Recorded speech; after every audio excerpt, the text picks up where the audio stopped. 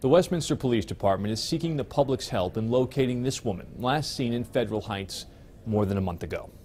Investigators say Rosio Flores attended a family event at Camenisch Park on July 10th. Around 8 that evening, Flores told family members she was going to walk home to the 8600 block of Zuni Street.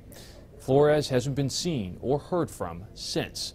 Police say the family waited a couple of weeks before reporting her missing. Anyone with information is asked to contact the Westminster Police Department.